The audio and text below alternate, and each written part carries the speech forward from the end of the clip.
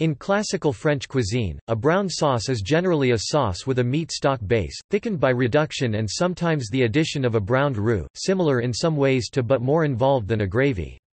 The classic mother sauce example is espagnole sauce as well as its derivative demi-glace, though other varieties exist.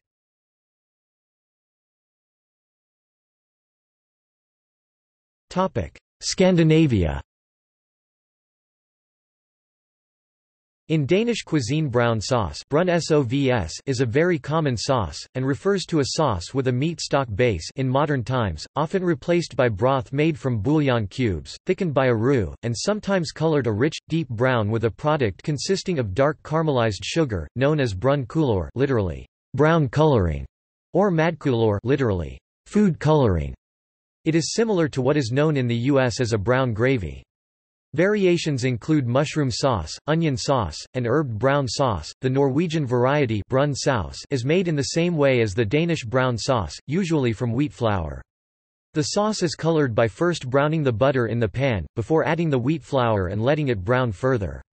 Food coloring literally, sugar coloring, soy sauce, and brown cheese both for color and taste are sometimes added.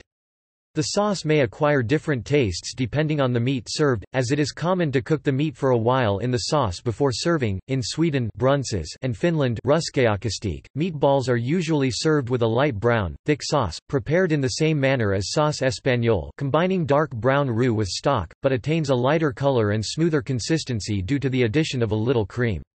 It is spiced with black pepper, and it is common to add soy sauce, blackcurrant jelly, apple sauce, onions, mustard, allspice, tomato puree or other ingredients to add flavor.